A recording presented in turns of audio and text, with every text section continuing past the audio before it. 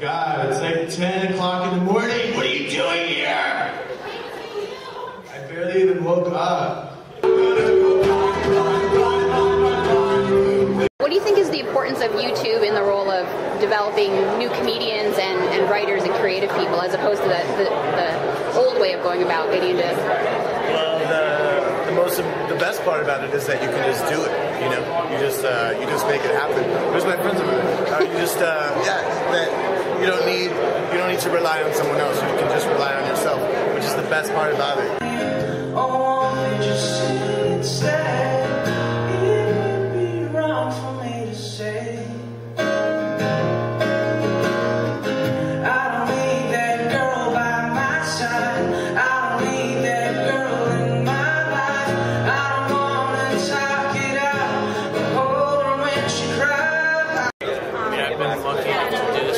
While, so um, I mean, I have a s- pretty decent sized subscriber base. Every time I upload a video, you know, it shows like these people who are interested in watching. So I would say the numbers are really good. I mean, because I'm not like a people person. right? Let me love you down. There's so many I think YouTube is a new world of new media, and I think a lot of companies are slow, and some are catching on. That's why you have companies endorsing YouTubers now because there are YouTubers who have more, you know, fans than a company can get, a billion dollar company can get, because YouTube is more personal, and people are starting to see the value of that. Well,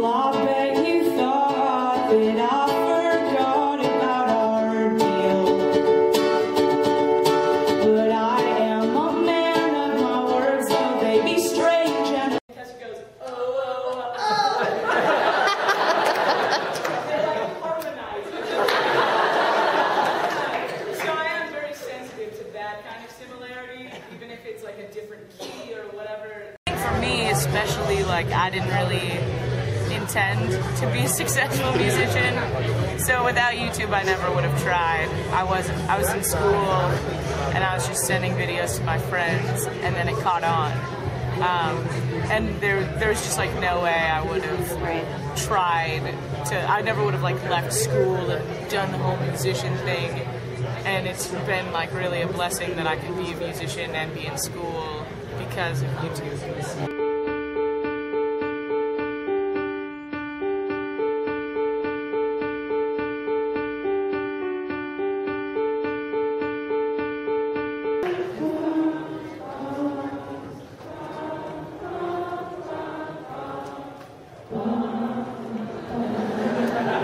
It's crazy because I used to work as a PA in like video shoots, and I told myself like one day, ten years from today, I'm gonna be a director, you know, and like that's what I'm doing now. You know, I'm directing like music videos, directing like national commercials from YouTube, you know, because the people go to my YouTube and they're like, oh, oh my God, you know, this is awesome. Go, come direct, come do that for us.